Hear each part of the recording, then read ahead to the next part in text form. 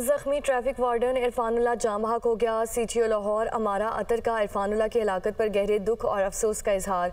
दुख और गम की इस घड़ी में लाहौर ट्रैफ़िक पुलिस मकतूल की फैमिली के साथ है।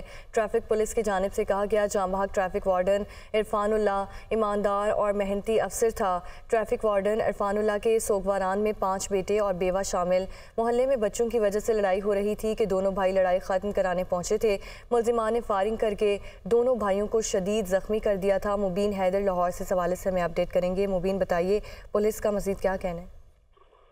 बिल्कुल इसी तरह से है कोर्ट शाहबुद्दीन जख्मी ट्रैफ़िक वार्डन इरफान जो है, वो शहीद हो गया है। मोहल्ले में बच्चों की वजह से लड़ाई हो रही थी, जिसके अंदर दोनों भाई रफा दफ़ा करवाने पहुँचे थे और मुलजमान ने फायरिंग करके दोनों भाइयों को शदीद जख्मी कर दिया था। सिटी और महारातर का इरफान की शहादत पर गहरे दुख का और अफसोस का भी सामने है।